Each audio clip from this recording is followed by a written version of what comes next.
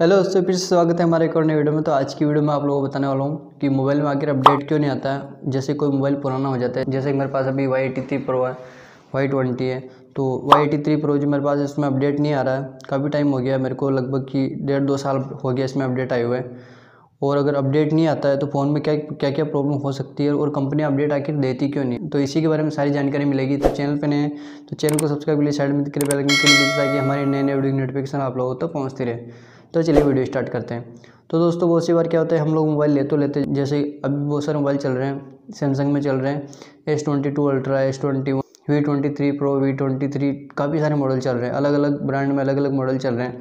तो होता क्या है जैसे अभी मैंने मोबाइल खरीद रखा है, अभी वाई एटी थ्री प्रो ये मेरे को लिए हुए लगभग चार से पाँच साल हो चुका है। तो अभी क्या हुआ, एक दो साल जिसमें अपडेट ही नहीं आ रहा। है तो समस्या ये हो रही है कि आगे कंपनी अपडेट क्यों नहीं देती है?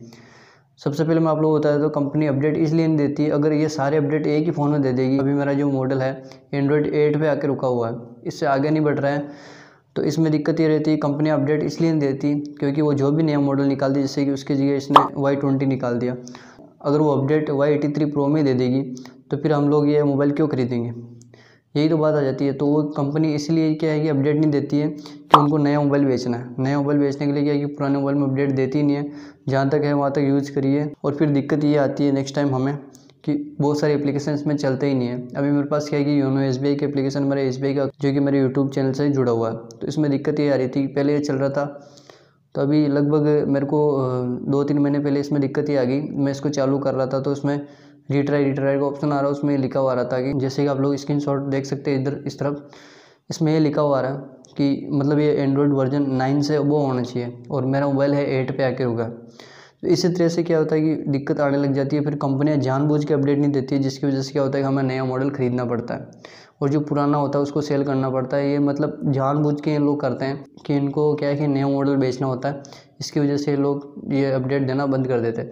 नहीं तो कंपनियाँ चाहती तो अपडेट दे सकती है और उसके बाद हम लोग क्या करते हैं, इसमें कस्टम वर्जन अगर डालते हैं तो इसमें फिर सिक्योरिटी इशू आता है। जैसे कि हम लोग क्या करते हैं, इसमें कस्टम रोम डाल तो देते हैं। फिर इसमें क्या है कि बहुत सारे बग आ जाते हैं, जैसे कि मालवेयर आ सकता है, बहुत सारे वायरस आ सकते हैं ऐसे ऐसे, जो कि हमारा डाटा जो है डायरेक्ट लीक कर सकते हैं। कोई एप्लीकेशन का हो सकता है या फिर गूगल पे फ़ोन पे वगैरह जो पेमेंट करते हैं, उसका डाटा सेव कर सकते हैं पासवर्ड वगैरह सारी चीज़ें सेव हो सकती हैं इनके पास। इसलिए हमें क्या है कि मोबाइल सॉफ्टवेयर होने के बाद ऐसी चीज़ें उसमें चलानी नहीं चाहिए। तो आप लोग समझ गए होंगे कंपनी आखिर अपडेट क्यों नहीं देती कंपनी अपडेट इसलिए नहीं देती कि उनको नया फ़ोन सेल करना है। अगर आप लोग, अगर वो सारे अपडेट एक मोबाइल में दे देगी तो नया फ़ोन कौन खरीदेगा? इसीलिए अपडेट नहीं देती है। और अपडेट नहीं आने से हमें दिक्कत आती है कि बहुत सारी एप्लीकेशन बंद हो जाते हैं। तो दोस्तों, आपको पता चल गया होगा कि कंपनी अपडेट क्यों देती है और अगर अगर अपडेट नहीं आता तो हमारे फ़ोन में क्या क्या समस्या आती है। तो दोस्तों, वीडियो अच्छा लगा तो प्लीज़ वीडियो को लाइक करें चैनल पर लाइक चैनल को सब्सक्राइब लीजिए साइड में दिख रही बेल आइकन क्लिक लीजिए ताकि हमारी नई नई वीडियो नोटिफिकेशन आप लोगों तक तो पहुँचते रहे। तो मिलते हैं एक और नई वीडियो में, तब तक के लिए जय हिंद, जय भारत।